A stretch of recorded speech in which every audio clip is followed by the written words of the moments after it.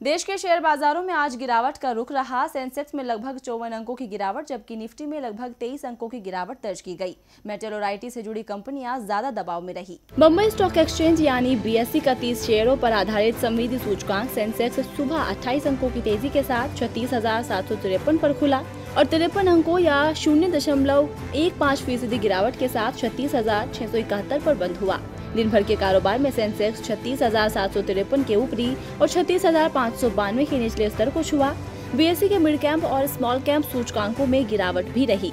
BSc का mid cap सूचकांक 11 अंकों की गिरावट के साथ 14,804 पर और स्मॉल कैप सूचकांक 11 अंकों की गिरावट के साथ चौदह पर बंद हुआ।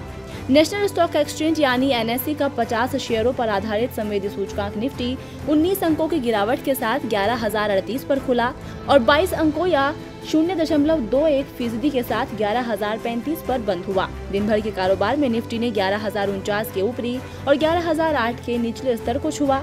बीएससी के 19 में से आठ सेक्टरों में तेज़ी रही। यूटिलिटीज, बिजली, उपभोक्ता टिकाऊ वस्तुएँ, तेज खपत, उपभोक्ता वस्तुएँ और दूरसंचार में सर्वाधिक तेज़ी रही।